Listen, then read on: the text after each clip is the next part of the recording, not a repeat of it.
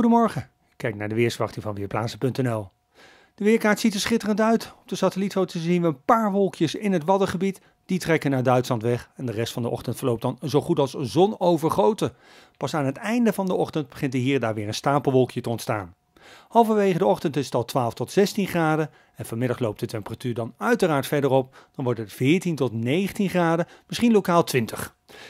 Opnieuw een paar stapelwolkjes, denk vooral in het noorden en oosten van het land, maar het is zon, zon, zon. Vanmiddag dus schitterend weer. Vanavond ook nog, alleen vanuit het noorden begint er geleidelijk wel wat meer bewolking te komen, maar er valt geen regen uit. Temperaturen halverwege de avond 13 graden. Morgen, hemelvaartsdag, begint droog en fris. In de loop van de dag schijnt de zon overal geregeld. En pas aan het einde van de middag of avond komt er vanuit het zuiden regen aan. Hoe ver dat tot midden Nederland komt is nog de vraag. Waarschijnlijk valt er alleen regen in het zuiden. Vrijdagochtend trekt die regen dan weg en daarna hebben we opnieuw flinke zonnige periode. Dus vrijdagmiddag is het overal, ook in het zuidoosten, weer schitterend weer. In het weekend een enkel buitje, ook geregeld zon en temperaturen iets te laag voor de tijd van het jaar.